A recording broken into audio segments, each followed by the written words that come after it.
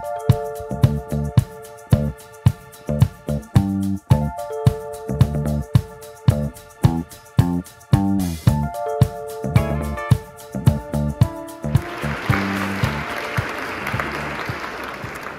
Ja, dann ganz herzlichen Dank für die Einführung schon mal. Ähm, ich freue mich auch total, heute hier zu sein. Und um ganz ehrlich zu sein, ich wohne quasi nur 200 Meter von mir, also das Institut ist 200 Meter von hier, ähm, aber ich war noch nie in diesem Raum. Und ich finde ihn total super. Also der ist echt sehr, sehr schön. Von daher ist es vielleicht allein der Ort schon wert, dass Sie gekommen sind heute Abend. Mal sehen, ob das für den Vortrag dann auch gilt. Da können Sie sich Urteile nachher drüber bilden. Ähm, ich dachte, zunächst einmal erzähle ich vielleicht ein paar Worte zu mir, ähm, warum ich das mache, was ich mache und wie ich da hingekommen bin. Und dann kann es losgehen mit der eigentlichen Thematik. Also ich bin Chemiker und immer, wenn ich das Leuten erzähle, oder fast immer, ist die erste Reaktion darauf, das habe ich als erstes abgewählt in der Schule. Und bei mir war das genau andersrum. Ähm, ich habe immer schon in der Schule eine tiefe Faszination für Moleküle und für die Chemie gehabt hatte einen ganz tollen Chemielehrer, der mich auch auf dem Weg da super begleitet hat, mit dem Üblichen, was einem in dem Alter so fasziniert. Also wir haben Sprengstoffe hergestellt und äh, viele lustige Experimente gemacht. Ähm, und habe das dann mit dem Chemiestudium fortgesetzt nach der Schule. Ähm, auch daran hatte ich schon ziemlich viel Spaß, obwohl ich sagen muss, so richtig viel Spaß hat es mir eigentlich erst gemacht, als ich selbstständig forschen konnte mit der Diplomarbeit damals, heute sind es Bachelorarbeiten und Masterarbeiten, aber im Grundsatz hat sich da nichts geändert. Man fertigt seine eigene erste wissenschaftliche Arbeit an und ähm, das fand ich schon damals unglaublich cool, einfach selbstständig Dinge zu erschaffen, denn das ist das, was Chemiker können. Wir können Moleküle erschaffen. Das hört sich so selbstverständlich an, weil man denkt, ja, Moleküle sind eh da und so, aber das zielgerichtet zu tun ist nicht so einfach und nur ganz wenige Naturwissenschaftler können das. Chemiker oder pharmazeutische Chemiker können das und das ist äh, meines Erachtens etwas, was es unbedingt braucht, um insbesondere pharmazeutische Wissenschaft voranzutreiben. Aber dazu nachher mehr. Äh, ich bin dann, wie das üblich ist, in der Chemie bei einer Doktorarbeit gelandet, ähm, habe die äh, in Oldenburg seinerzeit fertig gemacht und bin dann danach, wie das ebenfalls in der Chemie früher zumindest sehr üblich war, zu einem Forschungsaufenthalt in die USA gegangen, ähm, habe mich dort für ein Jahr lang äh, aufgehalten, mit Proteinchemie damals beschäftigt, bin dann wieder zurück nach Deutschland gekommen und habe dann hier meinen eigenen Arbeitskreis aufgebaut. Damals übrigens in der Habilitation äh, hier im Institut für organische Chemie in Hamburg, ähm, wo ich sechs Jahre lang tätig war und dann bin ich nochmal gewechselt. Ähm, dreimal als Akademiker wechselt man immer häufig die Orte. Das finde ich auch ganz gut so. Ähm, und ähm, bin dann ein bisschen rausgedriftet aus der normalen Chemie und habe mich in Richtung pharmazeutische Chemie entwickelt. Und das ist auch das, was ich heute noch mache. Pharmazeutische Chemie, das heißt also, ich beschäftige mich mit Synthese, Analytik und vor allen Dingen auch der Evaluation von pharmazeutischen Wirkstoffen. Und dazu gehören auch Antibiotika obwohl ich über Antibiotika gar nicht so viel arbeite, da gibt es auch ein kleines Projekt bei uns, aber es ist gar nicht so viel, ähm, sondern eher materialwissenschaftlich im Bereich Infektionsforschung arbeite. Ähm, es gibt zudem noch ein zweites Standbein bei uns in der Arbeitsgruppe. Das eine ist also die Materialforschung, darüber werde ich heute ein bisschen was erzählen, und das andere, darüber erzähle ich heute gar nichts, ist Krebsforschung oder ein Spezialbereich der Krebsforschung. Deswegen übrigens auch das Logo auf den Bildern äh, da unten links, das HPCC. Ähm, das ist das Hamburg Prostate Cancer Konsortium. Ähm, da mache ich immer ganz gerne ein bisschen Werbung für, deswegen habe ich das hier mit drauf auf dem Bild. Wenn Sie das alles interessieren sollte, über das hinausgehend, was ich heute hier erzähle, dann finden Sie hier oben rechts auf den Folien den äh, Barcode, den können Sie äh, einlesen und dann kommen Sie auf unsere Homepage und dann können Sie sich da alles angucken. Von daher genug der Vorrede und ähm, ich beginne mal mit dem eigentlichen Thema. Der Titel hört sich ja schon so ein bisschen apokalyptisch an, äh, stille Pandemie, was passiert, wenn das Antibiotikum auf einmal nicht mehr hilft. Und er ist vielleicht auch ähm, durchaus im Kopf, in Ihren Köpfen, ähm, denn äh, vor gar nicht langer Zeit ging das auch ziemlich explizit nochmal durch die Presse. Ich habe hier nochmal zwei Schlagzeilen rausgesucht. Die Tagesschau beispielsweise hat hier ähm, sich auf eine Studie bezogen, wo von Millionen Todesfällen bis 2050 ähm, die Rede war. Seriöse Medien wie die Bildzeitung ebenfalls mit äh, äh, heftigen Schlagzeilen dazu. Die Zahlen, die damit verbunden sind, was Todeszahlen anbelangt zum Beispiel, die sind heterogen und natürlich auch nicht klar vorhersagbar im Moment. Aber diese beiden Medien beziehen sich äh, schon auf einen realen Hintergrund. Es gibt nämlich, es gab in diesem Jahr eine groß angelegte Studie, das Ergebnis einer groß angelegten Studie im Fachmagazin Lancet. Äh, und Sie sehen hier den, den Titel dieser etwas trocken klingenden Studie. Aber die Aussagekraft war dramatisch, dass nämlich tatsächlich in den nächsten Jahrzehnten da eine Welle auf uns zurollen wird, die ähm, sehr, sehr schwierig aufzuhalten sein wird. Und wir kennen diese Begrifflichkeiten rund um die Infektionsforschung jetzt gerade ganz frisch aus der Corona-Zeit. Ähm, Vielleicht wird das sogar noch ernsthafter. Und ähm, man sollte auf jeden Fall ähm, das Gefährdungspotenzial im Kopf haben, dass mit den zunehmenden Resistenzen gegenüber Antibiotika, und genau um die geht es hier auch in diesem Titel und wird es auch im Vortrag gehen, die Gefahr für schwer therapierbare bakterielle Infektionskrankheiten auf jeden Fall steigt. Aber steigen wir ein. Ähm, vielleicht zunächst einmal, was ist eigentlich das Problem? Nun, das Problem sind eigentlich Infektionskrankheiten, die durch Bakterien hervorgerufen werden, und zwar solche, die eigentlich ungewöhnlich sind, also sogenannte therapieassoziierte Infektionen. Das sind Infektionen, die man sich dann erwirbt, wenn man gerade sich in Therapie befindet, das heißt in aller Regel in Pflegeeinrichtungen, in Krankenhäusern. Und äh, das kann man diesem Schaubild hier vom ECDC ganz schön entnehmen. Ungefähr eine von 15 ähm, therapieassoziierten, äh, einer von 15 Patientinnen erleidet so eine therapieassoziierte Infektion. Das ist also nichts, was wirklich selten ist, sondern es kommt im Gegenteil sogar relativ häufig vor. Insbesondere, wie gesagt, in Krankenhäusern und in Pflegeeinrichtungen. Die Zahlen sind auch beträchtlich, wobei auch hier die Dunkelziffer relativ groß ist. Insbesondere in Pflegeeinrichtungen ist das Monitoring solcher therapieassoziierter äh, Infektionen schwieriger als im Krankenhaus logischerweise und deswegen gibt es wahrscheinlich auch eine erhebliche Dunkelziffer. Aber die Millionen, die hier genannt werden, ähm, sind wahrscheinlich eher die untere, der untere Bereich, in dem sich das nennt und nicht der obere der Spanne, in dem sich das bewegt. Wichtiger Punkt dabei sind eben die antibiotikaresistenten Keime, von denen ich gerade schon mal ganz kurz sprach, also therapieassoziierte Infektionen könnten ja gar nicht so schlimm sein, wenn man sie denn mit anderen Therapien wieder in den Griff bekommen könnte. Aber viele dieser Infektionen, gerade in Pflegeeinrichtungen und in Krankenhäusern, sind eben nicht mehr so einfach therapierbar. Ähm, und da sprechen wir eben von dem Phänomen der Antibiotikaresistenz. Das heißt eben, dass man diese Infektionen nicht mehr so einfach mit Antibiotika bekämpfen kann.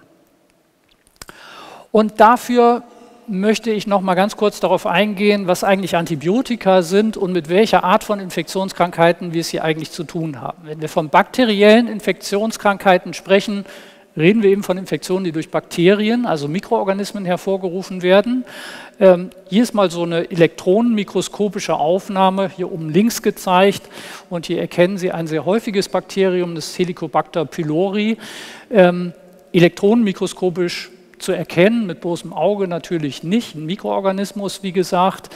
Ähm, wenn wir uns die Größenskalen mal kurz klar machen, auf denen wir uns bewegen, dann ist so eine typische ähm, Bakterienzelle, hier sehen Sie die Skalierung, zwei Mikrometer drückt dieser Balken aus, also es liegt so im Bereich von Mikrometern in etwa.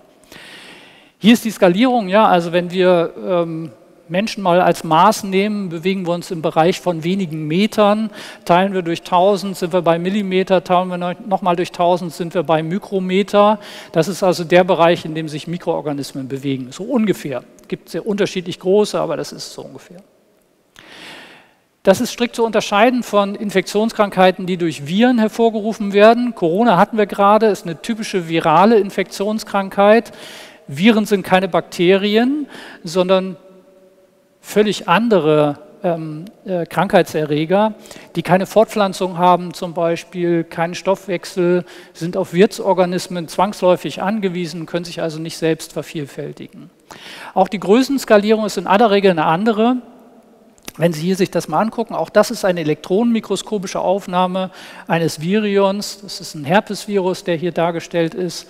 Ähm, und hier sind die Größenverhältnisse so bei 100 bis 200 Nanometer in etwa. Damit sind die Viren in einem Bereich, der so zwischen Organismen, Mikroorganismen und Molekülen zu finden ist in etwa. Ne? Ein Molekül bewegt sich in einer Größenskalierung von einem Nanometer oder womöglich noch drunter, manchmal auch ein bisschen drüber, aber so in dem Bereich.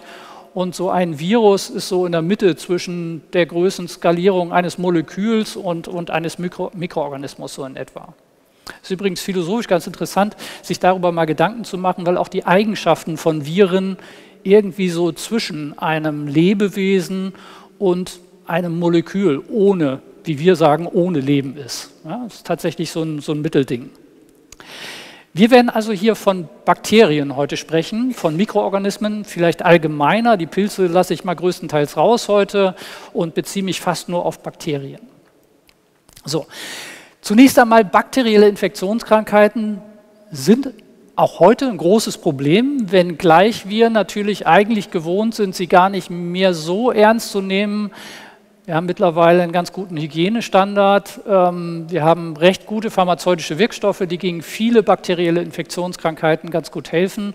Deswegen sind die bakteriellen Infektionen so ein klein bisschen aus unserem Fokus verschwunden, wie überhaupt Infektionskrankheiten ein bisschen aus unserem Fokus verschwunden sind im Vergleich zu, sagen wir mal, alten Zeiten. Hier auf der rechten Seite sehen Sie die äh, fatale Pest. Ähm, äh, den fatalen Pestausbruch in äh, Marseille zu Beginn des 18. Jahrhunderts. Ähm, und das war natürlich in diesen Zeiten gar keine Ausnahme, sondern diese Auswirkungen von Infektionskrankheiten kannte man damals, waren omnipräsent und die Leute mussten auch nicht unbedingt an der Pest sterben, sondern da haben schon einfache Wundinfektionen gereicht, damit man an einer Sepsis stirbt. Also Infektionskrankheiten waren immer die Geißel der Menschheit und eines der größten Ziele pharmazeutischer Entwicklung, wenn man so möchte, diese Geißel irgendwie in den Griff zu bekommen. Wichtig zu differenzieren, wie gesagt, sind die unterschiedlichen Infektionskrankheiten. Ich beziehe mich hauptsächlich auf bakterielle Infektionskrankheiten heute. Wie gesagt, die Pest zum Beispiel ist eine typische bakterielle Infektionskrankheit. Ja, Corona hatten wir eben schon, ist eine virale Infektionskrankheit, genau wie die Influenza, die Grippe hier. Auch das ist eine virale Infektionskrankheit. Und da gibt es natürlich noch jede Menge mehr an Infektionskrankheiten. Malaria ist hier auch zum Beispiel mit aufgelistet. Die wird durch einen Parasiten hervorgerufen. Ja, und so gibt es die unterschiedlichsten und alle auf ihre Art und Weise natürlich ähm, ernstzunehmenden Infektionskrankheiten. Man muss sich immer klar machen, dass die Therapie von solchen Infektionskrankheiten, die durch Mikroorganismen, Viren, Parasiten hervorgerufen werden, noch gar nicht so alt ist. Also die ersten wirklichen Optionen, was pharmazeutische Wirkstoffe angeht, die sind so ungefähr 100 Jahre alt. Und auch das Wissen um überhaupt die Verursachung solcher Infektionskrankheiten durch Mikroorganismen, Viren, also durch irgendetwas, was wir nicht sehen können, das ist noch gar nicht so alt, so ungefähr 150 Jahre, ja, ein bisschen älter. Trotzdem sind wir in der Zeit, seitdem es diese pharmazeutischen Entwicklungen gegeben hat, ein ganzes Stück weitergekommen. Und das hängt zu einem guten Teil mit der Entwicklung der Antibiotika zusammen, die durch viele Leute betrieben wurde, aber hier sind mal so die bekanntesten herausgegriffen. Ähm, Fleming, Chain und Flory kennen Sie vielleicht, sind die Entdecker des Penicillins und auch diejenigen, die den Weg des Penicillins zum eigentlichen Wirkstoff ermöglicht haben. Ähm, die unteren Herren hier, Domak, Mietsche und Clara, sind vielen gar nicht so bekannt. Dabei haben die auch Antibiotika entwickelt, die sogenannten Sulfonamide, die sind damals aus der Farbstoffforschung hervorgegangen. Und äh, auch die gibt es teilweise heute noch und die sind teilweise durchaus erfolgreich. Ne? Also sollte man auch nicht vergessen. Und die waren zur gleichen Zeit tätig. Ja, das ist alles zu Beginn des 20. Jahrhunderts gelaufen. Das waren so die, die, die ersten tatsächlich zielgerichteten Wirkstoffe gegen bakterielle Infektionskrankheiten. Und die waren extrem erfolgreich. Ähm, und zwar so erfolgreich, dass man schon kurze Zeit später eigentlich davon ausging, dass sich Infektionskrankheiten, und zwar nicht nur bakterielle Infektionskrankheiten, sondern auch virale Infektionskrankheiten, eigentlich erledigt haben. Weil man glaubte, man hätte eigentlich schon alles, was man bräuchte, um diese Krankheiten in den Griff zu bekommen. Sie sehen hier ein berühmtes Zitat äh, von äh, Sir Frank McFarlane Burnett, der hat den Nobelpreis für Medizin bekommen 1960 und ähm, mit diesem Zitat drückt er ganz gut aus, was, was damals so oftmals gedacht wurde, wir haben eigentlich jetzt alles, was wir brauchen. Ja, da kann man vielleicht noch Nuancen entwickeln, aber die Infektionskrankheiten werden eigentlich kein großes Problem für uns mehr sein. Die Antibiotika, die zu der Zeit entwickelt wurden, sind später tatsächlich auch breit auf den Markt gekommen. Penicillin war eines der ersten, hier sehen Sie ein Penicillin-Derivat, aber auch viele andere Antibiotika sind in den Jahren danach gefolgt und heutzutage, Sie sehen es hier, Standardmedikamente, ich nehme an, fast jeder hier im Raum hat schon mal ein Antibiotikum genommen. Ähm, und die funktionieren ja auch wirklich toll in aller Regel. Also ich bin jedes Mal wieder fasziniert, wenn ich wirklich schlimm krank äh, im Bett liege, mir ein Antibiotikum einwerfe und nach wenigen Tagen ist man wie ausgetauscht wieder. Ja? Ich will damit nicht sagen, dass die keine Nebenwirkungen haben und so weiter. Natürlich haben sie das auch. Aber trotzdem finde ich es immer faszinierend, dass man mit so einem kleinen Molekül so viel bewirken kann. Gegen ansonsten so ernsthafte Erkrankungen. Jetzt könnten wir also sagen, okay, wo ist das Problem? Ja, also 1960, 1940 bis 1960 war das Problem eigentlich erledigt. Es gab jede Menge Antibiotika. Das können Sie hier auf diesem Zahlstrahl äh, ganz gut erkennen. Sie müssen gar nicht alle diese Begrifflichkeiten hier ähm, äh, durchlesen, das ist gar nicht wichtig. Jeder der Begriffe, der hier aufgelistet ist und jede blaue Linie hier zum Zeitstrahl steht für eine neu entwickelte Antibiotika-Klasse eine ganze Klasse von Wirkstoffen, wie zum Beispiel dem Penicillin. Ja, das sind viele unterschiedliche Arzneistoffe, die mittlerweile auf dem Markt sind, die alle zur Klasse der Penicilline gehören. Und Sie sehen, von 1920 bis 1970 hier fast sind jede Menge unterschiedlicher Antibiotika-Klassen entwickelt worden. Es gibt nicht zu jeder dieser Klassen so viele Derivate, also unterschiedliche Arzneimittel wie für Penicilline, aber das zeigt nur, da gibt es wirklich viele. Dazwischen oder dann in den folgenden Jahrzehnten gab es, was man als das sogenannte Innovation Gap bezeichnet in der Infektionsforschung. Auf einmal sehen Sie hier so in den späten 65, ab 1965 in etwa gab es so ein Aussetzen. Da gab es keine Neuentwicklungen mehr oder jedenfalls nur sehr wenige Neuentwicklungen für Antibiotikaklassen bis hin zum Jahr 2000 so in etwa, bis in die späten 90er Jahre. Interessante ähm, Überlegung dazu, warum das eigentlich so war, dass hier keine neuen Antibiotika mehr entwickelt wurden. Erster Grund, man dachte eigentlich, man hätte genug. Ähm, Sie sehen das ja hier, sind eine ganze Menge da. Derivate konnte man auch noch machen, also warum noch mehr entwickeln? Das ist mal Punkt Nummer eins. Und zum Zweiten muss man verstehen, Antibiotikaentwicklung ist in diesen Zeiten und auch heute noch eigentlich hauptsächlich eine Aufgabe der chemischen Industrie, der pharmazeutischen Industrie. Und die wollen natürlich Geld verdienen. Und Antibiotika sind eigentlich ein extrem unattraktives Betätigungsfeld für pharmazeutische Firmen. Denn da sprechen ganz viele Dinge dagegen, ähm, Antibiotika zu entwickeln und nicht lieber ein Medikament gegen Herzkrankheiten oder Bluthochdruck oder irgendwie sowas. Denn Antibiotika werden zunächst einmal nur beschränkt genommen, nur eine beschränkte Zeit. Typischerweise nehmen die sie für ein paar Tage, maximal zwei Wochen und dann sind sie geheilt. Und dann brauchen sie erstmal die nächsten zwei, vier, fünf, sechs, sieben, acht Jahre kein Antibiotikum mehr im Idealfall. Und das ist natürlich kein Geschäftsmodell. Ja? Also das ist nicht gut. Wenn Sie Bluthochdruck haben, das ist viel lukrativer. Ja? Dann nehmen Sie ein Medikament Ihr Leben lang. Cholesterinsenker ja, müssen Sie ewig nehmen. Das ist viel attraktiver und deswegen waren die Antibiotika nie besonders geliebt in der pharmazeutischen Industrie. Man konnte einfach nicht besonders gut Geld damit verdienen. Und es kommt noch was weiteres dazu. Man hatte zu dieser Zeit so langsam begriffen, hm, auf Dauer könnte es ein Problem mit resistenten Keimen geben. Wir sollten also vielleicht nicht immer alle Antibiotika breit einsetzen und Antibiotika zurückhalten. Das ist für Sie als Unternehmer aber eine Katastrophe. Sie investieren eine Milliarde Euro in einen neuen Wirkstoff und am Ende wird Ihnen gesagt, ja, den darfst du aber nicht verkaufen. Ja, den musst du schön in der Schublade liegen lassen und wenn wir ihn dann mal brauchen in 20 Jahren, dann kannst du ihn wieder rausholen. Das funktioniert nicht. Ja? Und deswegen haben viele Firmen gesagt, nee, da steigen wir aus, machen wir nicht mehr. Ähm, das sind so ein paar der Gründe, die dazu geführt haben, dass man über Jahrzehnte keine Antibiotika oder fast keine Antibiotika mehr entwickelt hat. Ähm, und erst in neuerer Zeit, als man wirklich begriffen hat, es gibt ein extremes Resistenzproblem, wir müssen wieder tätig werden in diesem Bereich, sind viele pharmazeutische Firmen wieder eingestiegen, auch mit staatlicher Hilfe wieder eingestiegen. Mittlerweile gibt es Programme, die explizit dazu aufgelegt wurden, um Antibiotika wieder zu entwickeln äh, in der pharmazeutischen Industrie. Ähm, aber es funktioniert eigentlich nur, wenn wirklich die Gemeinschaft es mitfinanziert. Ja, weil ein Unternehmen, für ein Unternehmen ist es eigentlich ziemlich uninteressant, sowas zu tun. Trotzdem, wie gesagt, mittlerweile gibt es wieder Entwicklungen in dem Bereich.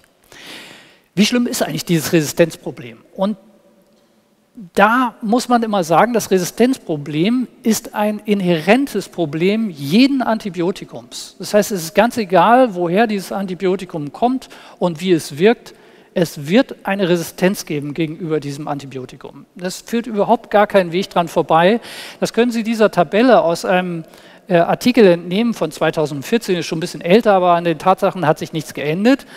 Hier sehen Sie so gängige Antibiotika, Sie sehen in der zweiten Spalte, in welchem Jahr die das erste Mal eingesetzt wurden klinisch. Und in der dritten Spalte sehen Sie, wann klinisch Resistenzen beobachtet wurden. Und wenn Sie die Zahlen vergleichen in der zweiten und der dritten Zeile, dann stellen Sie fest, dass gegen jedes dieses Antibiotikum meistens binnen Jahresfrist eine Resistenz festgestellt wurde.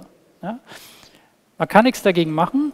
Ähm, übrigens auch bei dem letzten Vertreter, der hier ganz unten äh, gelistet ist, dem Bedakilin, gab es im Jahr drauf nach der Anwendung die erste Resistenz. Ja. Man kann nichts dagegen machen. Es ist ein bisschen wie der Wettlauf vom Hase und Igel, ja, der vielleicht vielen bekannt ist. Und ähm, das macht die Entwicklung von Strategien dagegen wirklich schwer. Jetzt muss man sich fragen, woher kommt das eigentlich? Und ähm, um das zu verstehen, sollte man ein klein bisschen verstehen, wie Antibiotika funktionieren.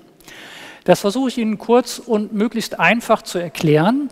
Was Sie hier auf dem Slide sehen, das ist zunächst einmal eine schematische Darstellung einer Bakterienzelle. Komplett vereinfacht, nur das Wesentliche drin, nämlich das, was die Zelle zum Überleben und zum Teilen braucht.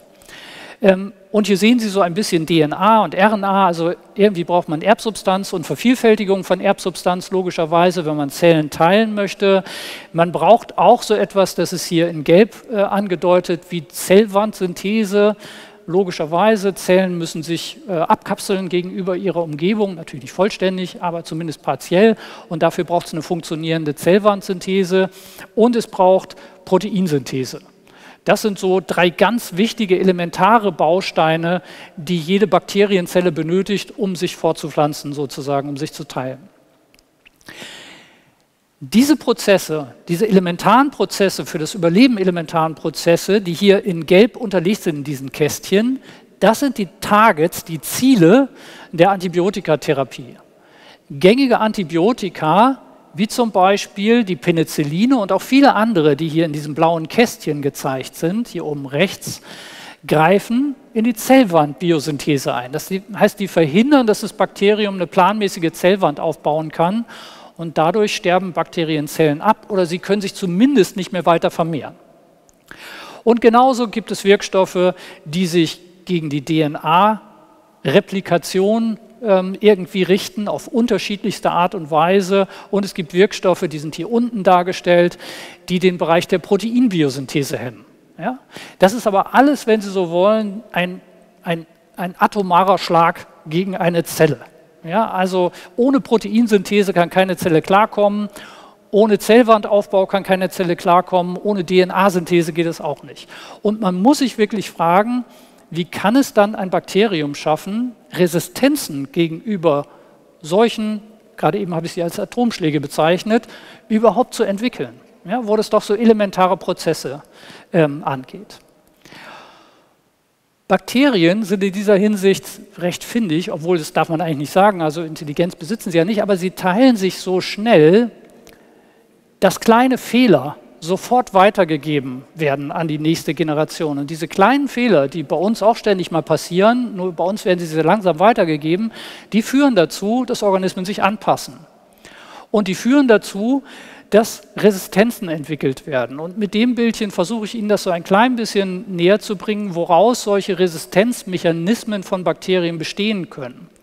Die können sehr unterschiedlich sein. Zum Beispiel können Bakterien dafür sorgen, dass die Zellwand hier mit diesem grünen etwas hier beschrieben verändert wird, so dass das Antibiotikum nicht mehr reinkommt in die Bakterienzelle und demzufolge auch nicht mehr wirken kann. Bakterien können auch dafür sorgen, und das ist hier rechts dargestellt, dass Antibiotika, die einmal reingekommen sind, sofort wieder rausgeschmissen werden. Über sogenannte Effluxpumpen werden diese Medikamente sofort wieder aus der Zelle eliminiert.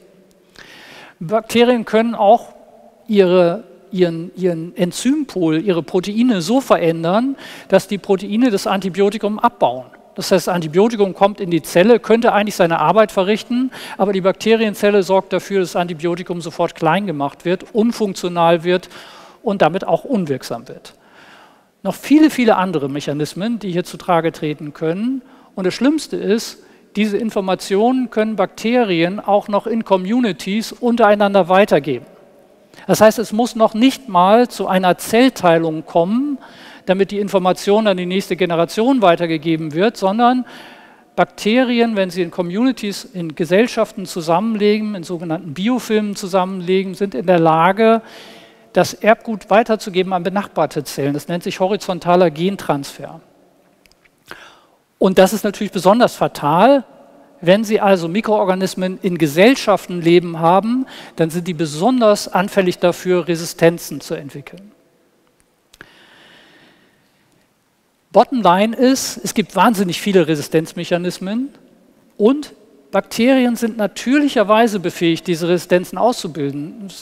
Man muss nicht annehmen, dass das nur passiert, weil wir Antibiotika einsetzen und womöglich synthetische Antibiotika einsetzen oder sowas. Nein, das ist eine ganz intrinsische Fähigkeit jeder Bakterienzelle. Es hat die Evolution über Jahrmillionen so angelegt bei den Bakterien, denn die müssen sich tagtäglich gegenüber anderen Bakterien Pilzen und so weiter durchsetzen. Und diese anderen Bakterien und Pilze produzieren Antibiotika. Daher haben wir die meisten Antibiotika, ne? nämlich aus anderen Bakterien bzw. Pilzen. Berühmteste Beispiel ist Penicillin, was ich am Anfang äh, erwähnt habe. Das kommt aus dem Schimmelpilz. Ja, ist also ein Naturstoff gewesen, ursprünglich mal. Mittlerweile natürlich strukturelle Derivate, aber ursprünglich war das mal ein reiner Naturstoff. Und es gilt für ganz viele Antibiotika. Das heißt, es ist eine intrinsische Fähigkeit von Bakterienzellen, Resistenzen auszubilden. Die sind einfach dran gewöhnt, kann man sagen. Biofilme, das sollte man ebenfalls behalten, nehmen eine Schlüsselposition ein. Immer dann, wenn wir also Communities haben, wird es besonders gefährlich und in Biofilmen können besonders leicht Resistenzen ausgebildet werden. So, was kann man jetzt tun und was sind die Gründe für das Resistenzproblem? Warum tritt das Resistenzproblem bevorzugt erst seit ein paar Jahrzehnten auf oder so, so, so drängend in unser Bewusstsein? Nun, seit ein paar Jahrzehnten wenden wir unglaublich viele Antibiotika an und zwar teilweise unsachgemäß, sowohl im Menschen als auch im Tier, Stichwort Massentierhaltung. Ähm, wir haben teilweise suboptimale Hygieneprotokolle, in Kliniken, in Pflegeeinrichtungen, auch wenn in den letzten Jahren da ganz viel passiert ist in Deutschland und auch in vielen anderen Ländern, ist das immer noch ein Problem. Und wir haben auch einen unsachgemäßen Gebrauch von Bioziden zum Beispiel. Also nicht nur Antibiotika, sondern auch Biozide werden teilweise unsachgemäß eingesetzt und auch die können zu Resistenzbildungen führen. Ähm, Biozide wären sowas, ähm, wären Wirkstoffe, die Bakterienzellen komplett abtöten können. Ähm, Im einfachsten Fall Seife. Ja, also wenn Sie Ihre Hände waschen äh, mit Seife, dann werden die Bakterien komplett lysiert ähm, von der Aktion der Seifenmoleküle und das wäre so ein typisches Biozid. Ähm, es gibt noch viele andere, aber das ist so der generelle Mechanismus dahinter. Ähm, der nächste Grund, neben dem unsachengemäßen Gebrauch von Antibiotika und Bioziden, ist dass es eben zu wenige neue, elementar neue äh, Wirkstoffe gibt. Antibiotika gibt. Hatte ich gerade eben schon beschrieben, dieses Innovation Gap hat uns da ein bisschen zurückgeworfen.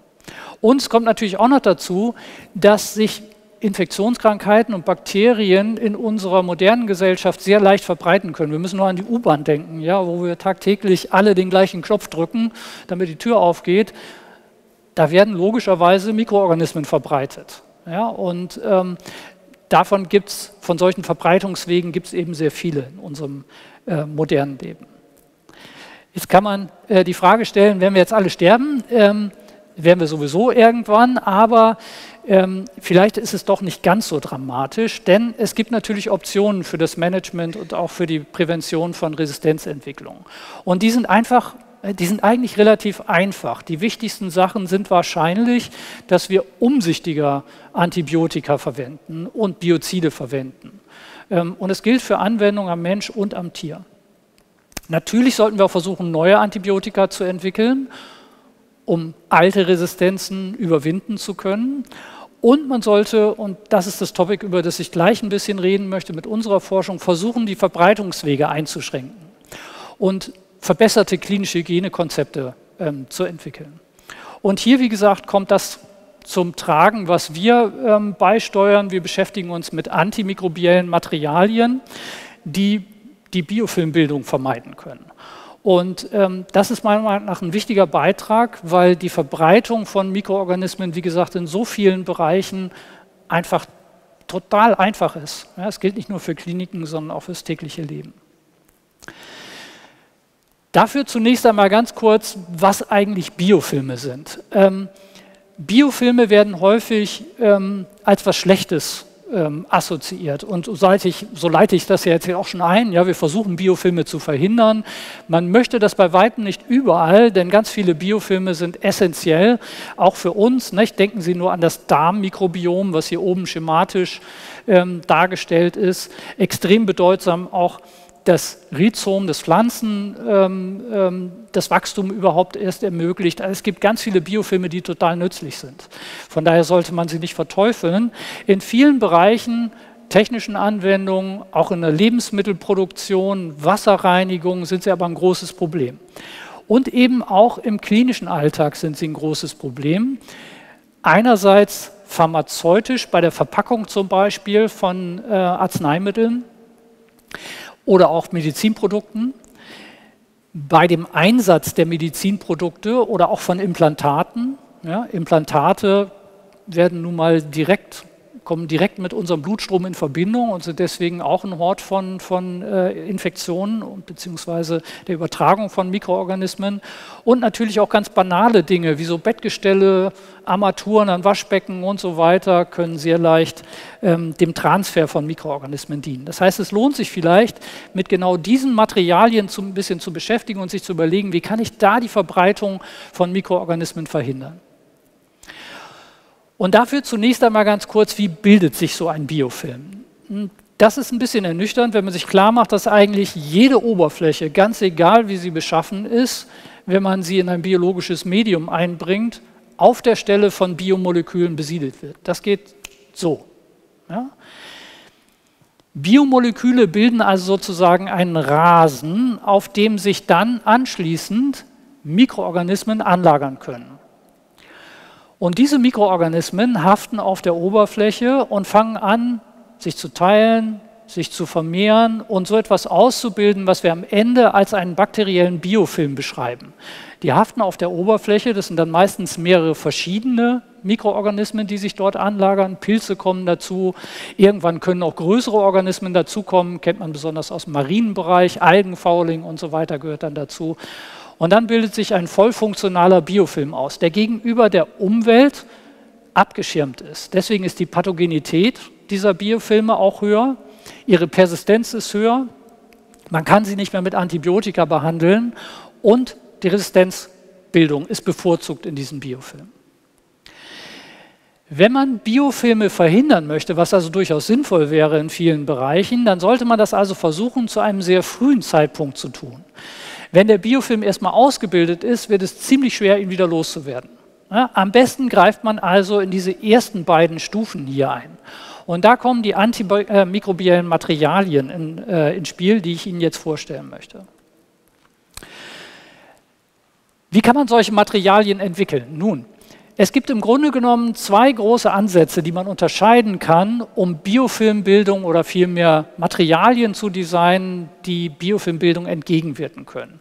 Ein Ansatz ist hier oben rot unterlegt. ist ein antibakterieller Ansatz. Das heißt, das sind tatsächlich Materialien, die Mikroorganismen abtöten. Und hier unten in blau dargestellt ist ein Anti-Fouling-Ansatz. Das sind Materialien, die Mikroorganismen nur abstoßen. Also die können sich da nicht drauf anlagern, aber sie werden nicht abgetötet. Beide Ansätze haben ihre Vor- und Nachteile. Diesen aktiven Ansatz, diesen antibakteriellen Ansatz, den kennen viele von Ihnen wahrscheinlich. Dafür benutzt man zum Beispiel Metalle, Silber, Kupfer, Zink, die den Materialien zugesetzt werden. In Kleidung zum Beispiel wird das häufig gemacht. Ähm, auf Fasermaterialien im Allgemeinen, Wundauflagen gibt es schon mit Silber und, und, und. Das ist ein Release-Ansatz, ein Freisetzungsansatz. Das heißt, Sie immobilisieren etwas in Ihrem Material, was dann abgegeben wird in die Umgebung und die Mikroorganismen abtötet in der Nähe dessen, was Sie da gerade als Material benutzen. Das hat ein großes Problem, weil das, was Sie als Biozid oder Antibiotikum benutzen, freigesetzt wird in die Umgebung. Vielleicht sind Einigen von Ihnen ist vielleicht der Begriff TBTO bekannt, äh, Tributylzinnoxid. Das ist diese harmlos aussehende Chemikalie hier, die aber ganz fatale Auswirkungen auf aquatische Ökosysteme hatte und in Schiffslacken breit eingesetzt wurde, über Jahrzehnte hinweg breit eingesetzt wurde. Deswegen finden Sie zum Beispiel riesige Mengen an Zinnorganylen im Hamburger Hafenschlamm. Ja? Mittlerweile ist das verboten, aber früher war das eben genau dazu da, damit sich kein Biofilm keine Pocken, keine Muscheln auf den Schiffsrümpfen anlagern können. Mit der Konsequenz, dass viel davon im Ökosystem landet. Es ist also vielleicht nicht ganz optimal, das so zu machen. Was man auch machen kann, und da wird es langsam schon interessanter, man kann Materialien entwickeln, die Bakterienzellen bei Kontakt abtöten. Diese Materialien besitzen etwas, was so aussieht wie ein nanoskopisches Nagelbrett, wenn Sie so wollen. Da sind lauter so kleine Piekser drauf und die sind geladen und zwar positiv geladen. Und diese Piekser interagieren mit den Membranen der Bakterien, den Zellwänden der Bakterien, können die zerstören, lysieren und damit Bakterien bei Kontakt zerstören. Das ist schon viel interessanter, weil aus diesen Materialien nichts in die Umgebung freigesetzt wird. Es handelt sich um eine kontaktbiozide Aktivität, funktioniert nur bei Kontakt. Es wird nichts freigesetzt. Und dann gibt es noch andere Ansätze, die Anti-Fouling-Ansätze, die eben keine Bakterien umbringen, sondern nur abstoßen. Sie kennen vielleicht auch ein paar von diesen Dingen, den Lotus-Effekt zum Beispiel, den man auf manchen Materialien ausnutzt. Selbstreinigende Oberflächen kann man auch für Anti-Fouling-Oberflächen verwenden. Und dann gibt es einen anderen Ansatz, den wir zum Beispiel in der Gruppe verfolgen. Da bringt man Moleküle auf die Oberfläche auf, die ganz viel Wasser binden. Die Oberfläche des Materials wird also mit einer festen Wasserschicht gecovert, wenn Sie so wollen, und kein Bakterium kann mehr ran. Es findet einfach keinen Ansatzpunkt, wenn man so möchte. Über diese beiden Ansätze, nämlich diesen Wasseransatz, diesen Anti-Fouling-Ansatz und diesen Kontaktbioziden-Ansatz, möchte ich Ihnen jetzt in der Folge ein bisschen was erzählen. Und dazu ein klein bisschen Chemie. Also, das hört sich immer so leicht an. Ich nehme irgendwie ein Material und, und bringe da irgendwas auf und ähm, dann wird es schon funktionieren. Ähm, schauen wir uns mal ein bisschen die Strukturen an, die dahinter stecken. Das Abstraktionslevel wird hier immer kleiner. Das heißt, hier auf der linken Seite können Sie erkennen, hier ist irgendein Trägermaterial dargestellt in Grau. Das könnte ein Kunststoff sein, Polyethylen zum Beispiel wird häufig eingesetzt. Und da drauf ist irgendwas immobilisiert, was viele positive Ladungen hat. Ein Polymer mit ganz vielen positiven Ladungen. Wenn man das auf eine Fläche überträgt, sieht das Ganze so aus und das wäre ein klassisches kontaktbiozides Material. In Grau dargestelltes Trägermaterial, Titan, Polyethylen, was auch immer man nehmen möchte. Auf der Oberfläche viele Kationen und das kann Bakterienzellen zerstören. In die chemische Strukturwelt übersetzt bedeuten diese Plus, diese Kationen, Ammoniumionen, solche Gruppierungen, die hier rot unterlegt sind in diesem Kästchen, die bringen wir chemisch auf auf die Oberfläche. Und dann haben wir ein Kontaktbiozid. Wenn wir Wasser auf der Oberfläche als Film immobilisieren wollen, wie eben angedeutet, für einen Anti-Fouling-Ansatz, also für diesen Abstoßungsansatz, müssen wir ein anderes Strukturfragment wählen, nämlich eines, was Kationen und Anionen, also positive und negative Ladungen, direkt in Nachbarschaft nebeneinander hat. Ausbalancierte Ladungen Solche Strukturen können sehr viel Wasser um sich herum akkumulieren und diese Schichten ausbilden, von denen ich gerade sprach. Diese Wasserschichten, die hier in der Mitte blau unterlegt sind. Und die Funktionalitäten, die dazugehören, chemisch gesehen, sind hier in den blauen Kästchen dargestellt. Typische Zwitterionen, die wir hier auf die Oberfläche aufbringen. Die Konzepte haben beide ihre Vor- und Nachteile. Das erste Konzept mit den Kationen erzeugt ein Kontaktbiozid. Nette Idee, kann Bakterien umbringen, funktioniert auch tatsächlich gut, aber vielleicht erkennt der eine oder andere sofort das Problem, was sich ergibt. Bakterien, wie fast alle Zellen, sind auf der Oberfläche negativ geladen. Deswegen werden sie auch von diesen positiv geladenen Spikes aufgespießt sozusagen. Und deswegen werden sie auch von der positiv geladenen Oberfläche angezogen. Und dann werden sie kaputt gemacht und die Reste sind ebenfalls negativ geladen und bleiben da liegen auf der Oberfläche. Irgendwann ist also alles mit Biomüll sozusagen voll und die Oberfläche kann nicht mehr ihren eigentlichen Effekt ausüben, kann nicht mehr biozid wirken und deswegen ist dieser Ansatz wenig dauerhaft, wenn man die Oberfläche nicht wieder regeneriert. Auf der anderen Seite dieser zwitterionische Ansatz mit dem Wasser der ist zwar nett, weil dauerhaft, es bleibt ja nichts auf der Oberfläche liegen, die Bakterien werden abgestoßen, aber es wird auch kein einziges Bakterium in der Umgebung getötet. Ja? Ist also keine bakterizide Wirkung, die wir hier haben, keine antimikrobielle Wirkung. Und wir haben uns gedacht, das ist beides unschön eigentlich, versuchen wir doch mal beides zu kombinieren. Versuchen wir also beide Strukturelemente, und das ist die Arbeit des Chemikers, theoretisch zusammenzufügen zu einem Molekül. Und dieses Molekül, das sehen Sie jetzt hier in der Mitte. Dieses Molekül enthält, das habe ich hier mit dem Farbcode so ein bisschen näher gebracht, das rote Element, das ist das Kation, das Kontaktbiozide, und das Zwitterion, blau unterlegt auf der anderen Seite. Und es enthält auch, grau unterlegt, eine Einheit, die man zur Polymerisation nutzen kann, nämlich ein Styrol. Polystyrol kennen Sie wahrscheinlich alle, häufiges, häufiger Kunststoff, den wir benutzen, zum Beispiel im Baustoffbereich. Ein ähnliches Derivat bauen wir jetzt auf mit diesem Molekül hier. Nur ist es kein normales Polystyrol, sondern es ist eins, was genau diese Ladungen trägt, die ich Ihnen eben beschrieben habe. Dann polymerisieren wir das auf dem Material und erhalten unser beladenes Material mit hoffentlich der gewünschten biologischen Wirkung. Chemisch läuft das Ganze jetzt so ab. Das Basismaterial, also zum Beispiel unser Kunststoff, nehmen wir mal an, unsere Polyethylenoberfläche, die wir brauchen, um ein Medizinprodukt herzustellen. Das wollen wir beschichten. Das heißt, wir müssen einen Kunststoff, der eigentlich ziemlich inert ist, kennen Sie alle Problem Mikroplastik, ja, Kunststoffe halten ewig. Das heißt, wir können sie nicht so einfach funktionalisieren, nicht so einfach chemisch modifizieren. Wir müssen es zunächst aktivieren. Das tun wir mit Hilfe von sogenannter Plasmatechnologie. Ein Hochenergieplasma lassen wir einmal über diesen Kunststoff laufen. Dadurch erzeugen wir auf der Oberfläche dieses Kunststoffes bestimmte funktionelle Gruppen, die wir dann nutzen können, um gezielt Moleküle wachsen zu lassen von der Oberfläche. Ist hier schematisch dargestellt. Am Ende landen wir damit zum Beispiel bei einem kationischen Polystyrol auf der Oberfläche und das kann Bakterien umbringen. Hoffen wir. Werden wir gleich sehen. Und so kann man all diese Materialien, die ich Ihnen gerade eben beschrieben habe, Kationen, Zwitterionen, gemischte Kationen und Zwitterionen, mit ganz ähnlichen Bausteinen ganz einfach from scratch sozusagen synthetisieren. Und dass das wirklich schnell und einfach geht, zeige ich Ihnen mal ganz kurz in einem kleinen Video.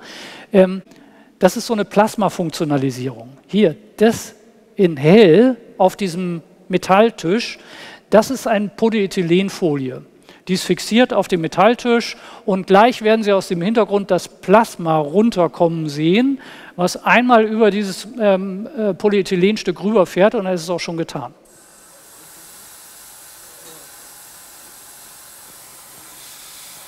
Zack, das war's.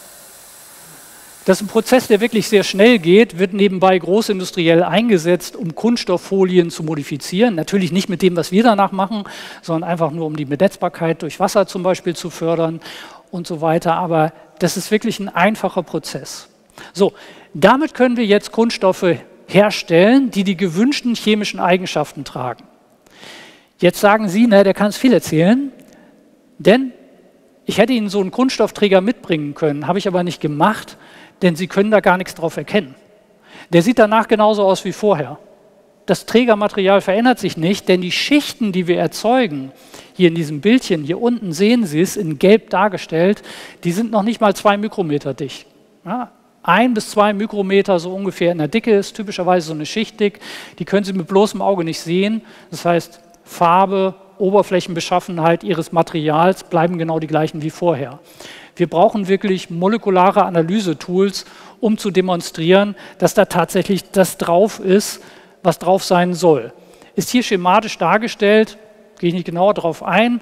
Diese Technik ergibt uns nur solche schönen Bildchen wie das hier und ich kann Ihnen versprechen, man kann sich darauf verlassen, es ist das drauf, was wir drauf bringen wollten. Das erkennt man übrigens auch an den physikalischen Eigenschaften dieser Materialien. Sie sehen hier ein dickes rotes Plus und ein gelbes Minus. Heißt einfach nur, die Messwerte, die hier aufgelistet sind, liegen entweder in einem positiven äh, Polarisationsbereich, also lauter Kationen, oder lauter Anionen auf der Oberfläche.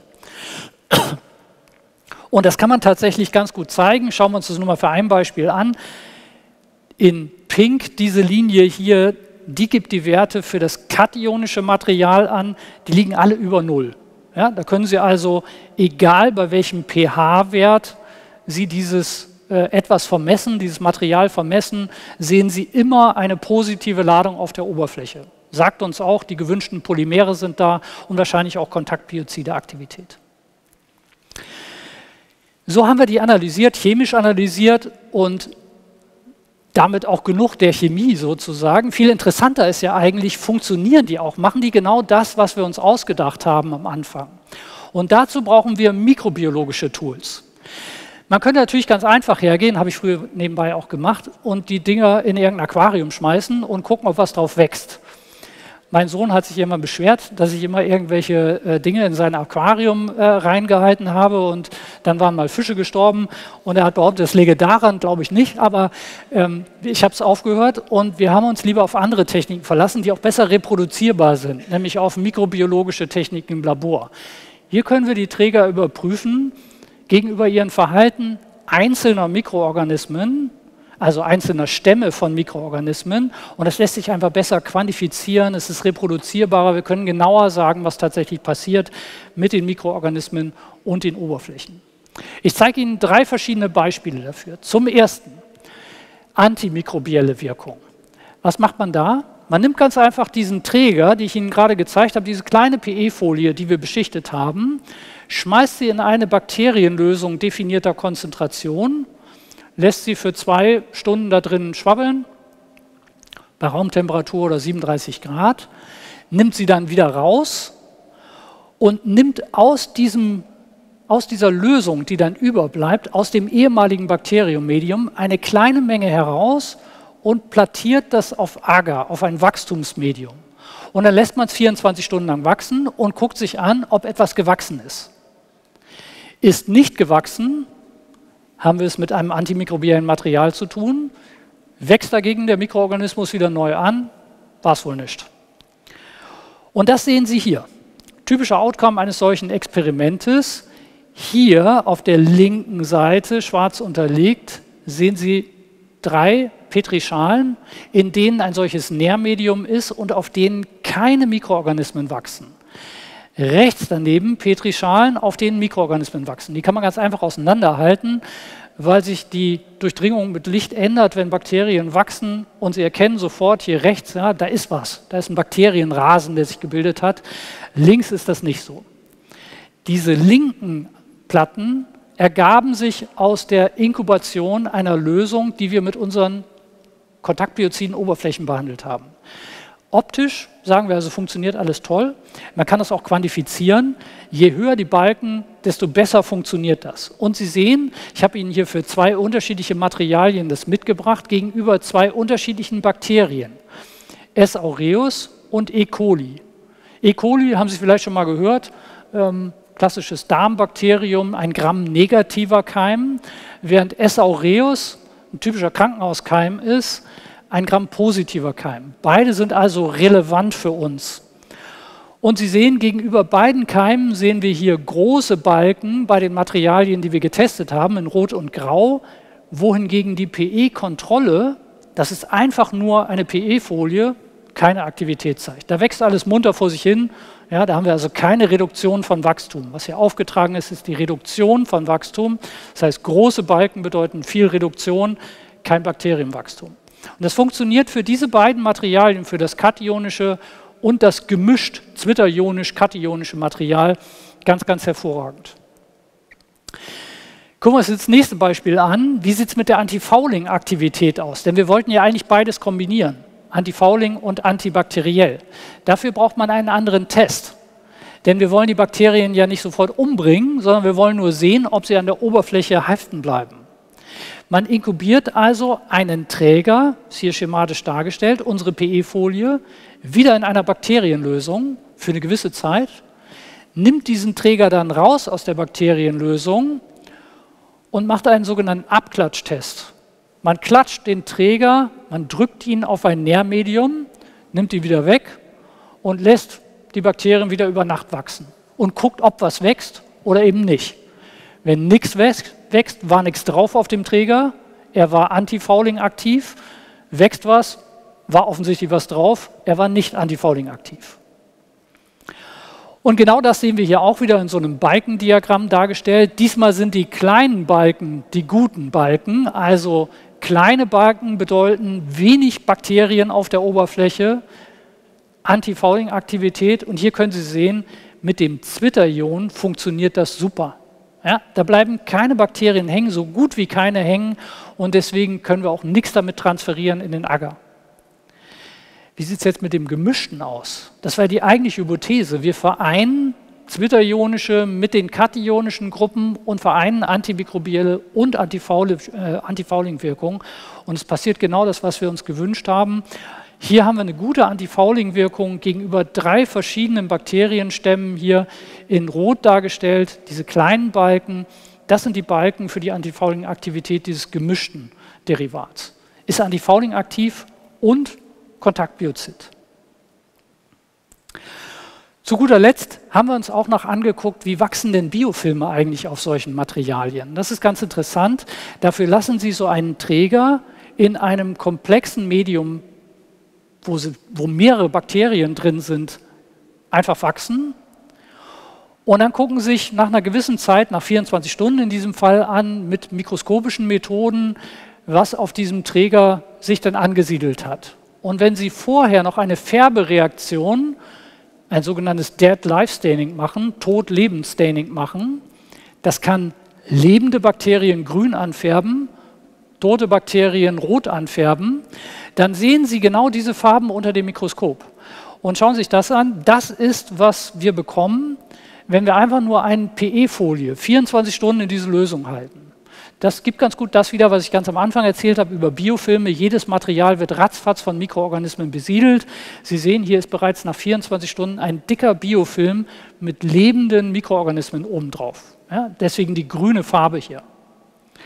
Nehmen wir ein kontaktbiozides Material, sehen Sie viel weniger Bakterien auf der Oberfläche, Nummer eins, also viel weniger farbige Spots hier. Und Nummer zwei, Sie sehen vermehrt rote Spots. Ich hoffe, das kommt einigermaßen raus auf den Bildern da. Das sind tote Bakterien. Die werden also tatsächlich von dem Material bei Kontakt abgetötet. Ein weiterer Beweis für die Wirksamkeit dieser Verbindung oder dieser Materialien. Und wenn wir jetzt auf die gemischt kationisch-zwitterionischen Materialien gucken, ist hier oben rechts dargestellt, dann sehen Sie eigentlich fast gar nichts mehr. Außer diesem grünen Hintergrund, diesem dunkelgrünen Hintergrund, was keine Bakterien sind, sondern es ist die Autofluoreszenz äh, des Polymers, was wir da hergestellt haben. Hier gibt es also weder grüne noch und wenn überhaupt, dann so ein paar rote Spots. Und das macht auch total Sinn, denn wir hatten ja gesehen, dieses Material ist anti-fouling aktiv, also wir sollten eigentlich sowieso wenig finden auf der Oberfläche. Und wenn überhaupt, dann werden es tote Bakterien sein, denn das, ähm, denn das, Material ist ja auch Kontaktbiozid, wie wir gesehen haben in dem vorherigen Essay. Und genau das können wir mit dem Test hier auch wiedergeben. So, und damit komme ich zum Ende und möchte Ihnen drei Hauptdinge mitgeben. Zum einen, Chemische Modifikationen von Oberflächen sind sinnvoll und machbar und sie führen zu antibakteriellen Materialien, die ganz gewünschte Eigenschaften haben. Manche haben sogar antibakterielle und Antifouling-Eigenschaften und lassen sich so ganz vielfältig im Nahrungsmittelsektor und auch im pharmazeutischen Sektor einsetzen. Zum Zweiten glaube ich, dass das ein wichtiges Tool ist gegen die Verbreitung resistenter Keime. Klinikalltag, bei Verpackungen und so weiter und so fort macht das bestimmt Sinn. Wir können gleich diskutieren, ob man das überall machen sollte, bestimmt nicht meiner Meinung nach, aber in beschränktem Umfang und bei bestimmten Anwendungen, insbesondere zum Beispiel in den Kliniken und Pflegeeinrichtungen, wäre das wahrscheinlich eine gute Sache. Und zu guter Letzt, Forschung ist gleich Zukunft, insbesondere naturwissenschaftliche Forschung, glaube ich, kann ganz viel zu der Problemlösung ähm, von wichtigen Zukunftsproblemen ähm, beitragen. Aber wir haben gegenwärtig extreme Nachwuchsprobleme. Ähm, deswegen habe ich dieses Bildchen hier ähm, reingepackt. Wir wollen Ihre Kinder, Enkel, Verwandten, Sie selbst, wenn Sie jung genug sind, wahnsinnig gerne bei uns an der Uni haben, wenn Sie was mit Naturwissenschaft studieren wollen, insbesondere. Nur dafür kann ich Werbung machen. Ist toll, auch andere Sachen zu studieren nebenbei. Aber wirklich, es gibt ein großes Problem. Wir haben zu wenig Studierende mittlerweile in ganz vielen Naturwissenschaften. Das gilt auch für die Chemie, sogar für die Pharmazie mittlerweile. Und deswegen wirklich äh, versuchen Sie mal Leute zu begeistern und ich hoffe, ich konnte meinen Beitrag leisten, dass ich vielleicht auch ein paar begeistert habe heute. Ja, da kann man faszinierende Sachen machen und wie gesagt, ganz viel zu wichtigen äh, zukünftigen Problemen beitragen. Ähm, ich will sie natürlich nicht für die Army, sondern wenn dann für die Chemie oder die Pharmazie oder sowas in der Art. Und wenn Sie Ideen dazu haben, äh, wie wir da noch besser Outreach machen können oder wenn Sie eine Frage dazu haben, dann kommen Sie auch gerne direkt auf mich zu. Wie gesagt, E-Mail-Adresse finden Sie äh, auf unserer Homepage. Der Barcode ist ja auch nochmal dargestellt. Damit schließe ich, nicht ohne mich zu bedanken bei den wichtigsten Leuten überhaupt. Ich habe nämlich gar nichts gemacht eigentlich, sondern äh, diejenigen, die hier gelb eingekreist sind, zwei von denen sind leider nicht drauf auf dem Bildchen. Das ist im letzten äh, Sommer bei einem Barbecue bei uns im Garten äh, gemacht mit meiner Arbeitsgruppe. Ähm, die fünf, die hier genannt sind, haben maßgeblich beigetragen ähm, zu den Studien, die ich Ihnen heute äh, vorgestellt habe. Und die haben eigentlich die ganze Arbeit gemacht. Ich darf immer nur nette Geschichten darüber erzählen. Ja, und ich werbe das Geld dafür ein. Ähm, und zum anderen möchte ich mich ganz herzlich bedanken bei den Kooperationspartnern auch. Forschung ist interdisziplinär. Wir brauchen Kooperationspartner, die sind hier äh, unten aufgelistet und wir brauchen auch Geld. Ähm, und da ähm, ganz herzlichen Dank erstmal für die, an die Uni Hamburg. Ähm, wir haben ein hervorragendes Forschungsumfeld hier. Sie haben es vorhin schon mal gehört, die Uni ist Exzellenzuniversität, damit sind ganz gute Mittel hier an der Uni. Wir haben ähm, eine hohe Anzahl von Exzellenzclustern auch in der Forschung hier an der Uni. Infektionsforschung ist ein Schwerpunktthema der Uni, also hier hat man wirklich relativ gute Bedingungen zum Forschen, insbesondere in diesem Bereich. Und natürlich braucht es auch Geldgeber zum Beispiel aus der Industrie oder anderen Drittmittelquellen, die hier unten ebenfalls genannt sind. Und damit bin ich durch für den Moment.